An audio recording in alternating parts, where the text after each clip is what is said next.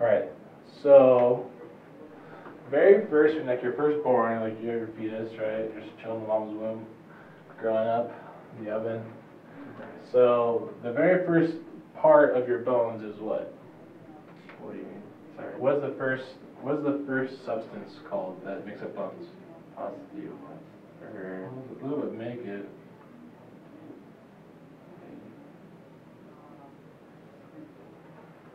cartilage.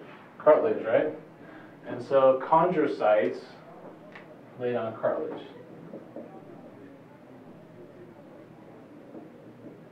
So you have what's called a hyaline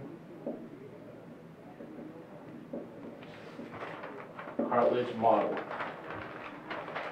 Right? Your hyaline cartilage model. It lays down cartilage and like so what what is a model like what kind of purpose does a model serve? Model. Uh-huh. Like, I guess. Like if I'm an artist and I'm trying to paint this person, what is the the like what copy? Yeah, so it gives you something of what's so good, so you know what what you're making, right? Right. And so that's what this cartilage does. It kind of gives it and says, hey, you know, like when you're laying down the bone, you kind of make it in this shape and this form and about this size, you know. Oh, okay. And the thing is, you need a cartilage layer model down to be able to lay bone down, mm-hmm. right? If there's no cartilage layer down first, you can't lay down any bone. Okay? So you first have this thing right here, and then all of a sudden, you form what's called the primary ossification center. Does that sound familiar? Mhm. What's happening there?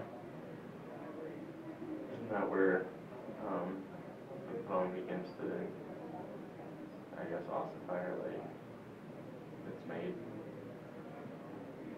Yeah. Have the primary ossification center, and the bone is first trying to get made, right? And so you have osteoblasts coming in and laying down this thing called the bone matrix, and then if that's making it possible for everything else to work, right? Now, with the primary ossification center formed, you're going to get blood coming in to this new bony substance, right? Yeah. And the, what what is this thing called? On the sides, whatever. No. The perichondrium. Oh yeah. The outside of the bone. Or So first you form the perichondrium, you start to ossif- then you form this uh, primary ossification center, and blood comes along, and you're able to deliver nutrients to it, the. right? As you deliver nutrients to this, this new primary ossification center, it delivers the things that are necessary to be able to form the actual bone part of it, right? And so the way bone works is, it's kind of like Bondo. Have you used Bondo before? Yes.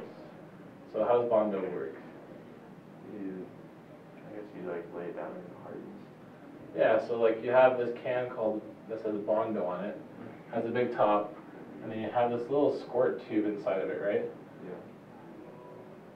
And so you use, you open up the can, you pop open your thing, you have your little piece of wood or your, your little plate there that you're gonna mix your Bondo on. You take a big old scoop of Bondo, you put it on there, and it's pretty soft, right? You can like move it, you can play with it. Um, you can, I guess, you can just kind of, it's, it's not hard at all, right? It's Right. pretty, pretty fluid. But then you take this little, this little tube and it says hardener, cream hardener, right? And it's red, and the Bondo's gray, okay? So here's my, my Bondo just, just chilling. Well, then I take my little hardening tube, I squirt some drops of this little cream stuff into it, and it's hardener. And then I take a stick and I stir it all together, it kind of changes colors, you know, that pinkish color. Right. And then you let it sit, and in a few minutes it becomes hard. And in like 20 or 30 minutes, it's as hard as like cement, right? It's like super hard. And so it's like two parts, right? But if the two parts are, if you're, if you put in too much of it, then it gets too hard and it gets brittle, right? And it breaks easy and it crumbles. If you don't put enough of it in, It's not hard enough. that's not hard enough, right? And it's really pliable still. And so it's kind of like bones, right? And so bones are made up of a substance called what? Collagen. Collagen and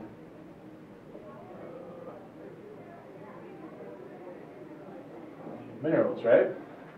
And so the minerals are like the, the calcium and the phosphate, phosphorus and stuff, right? And so you have these calcium and all this kind of stuff, right? And so the collagen is kind of like your bondo, and the minerals are gonna be like that that hardening tube. Does that make sense? Yep.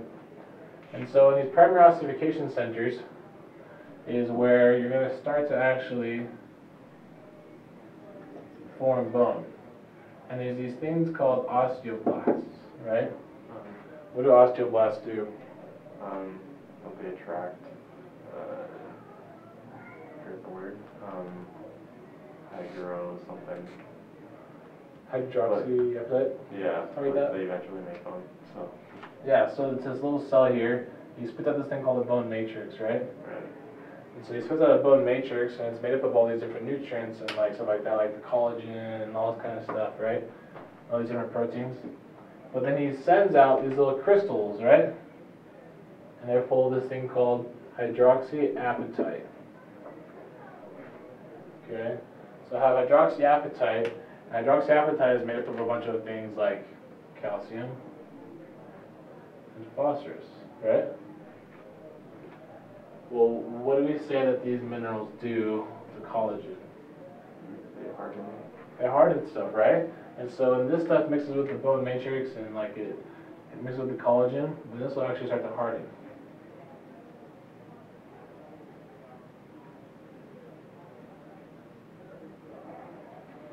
Right? And so as this hardens, then we actually get the actual bone. So what we think of as bones, right? And so on the insides of my bone, my primary ossification center, what kind of bone am, am I forming? It's spongy, Spongy bone. What is spongy bone? isn't it just like, I guess soft bone, or, Yeah, it's soft bone, right? And so when I form spongy bone, have you ever seen a sponge like a normal sponge that has like like a green scrubber on top? yeah, And so the green scrubber is it's like thicker and denser than a sponge, right?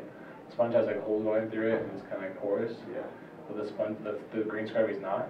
And so the bones are kind of like that. On the inside, you have all these these holes, but it's still like a pretty solid surface, right? mhm, But there's still kind of pores going through it. But on the outside, you have this stuff called what? compact. Compact bone, right?